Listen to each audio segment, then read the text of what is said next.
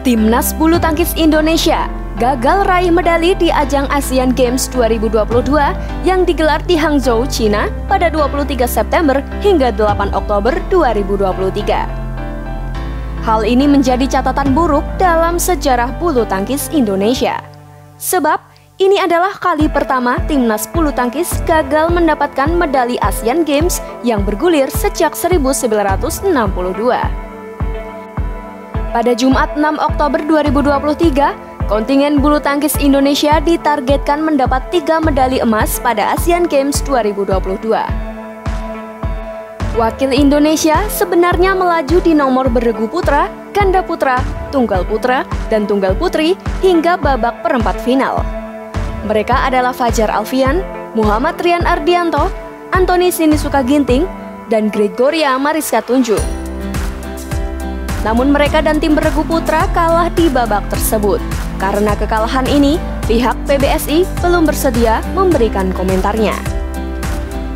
Meski kali ini gagal, tak dipungkiri timnas Indonesia telah banyak meraih prestasi di Asian Games. Pada 1962, Indonesia pernah menjadi tuan rumah dan berhasil meraih 11 medali emas. Lima di antaranya berasal dari bulu tangkis.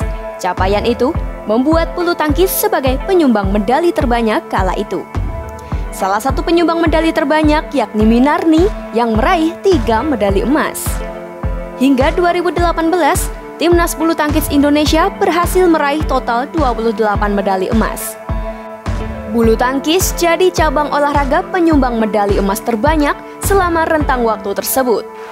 Kekalahan pun hanya dialami dua kali dalam periode itu yakni pada Asian Games 1986 di Seoul dan Asian Games 1990 di Beijing. Walaupun begitu, atlet Indonesia tetap mendapat medali perak dan perunggu. Lebih lanjut, ini dia daftar perolehan medali bulu tangkis Indonesia selama perhelatan Asian Games sejak 1962 hingga 2022.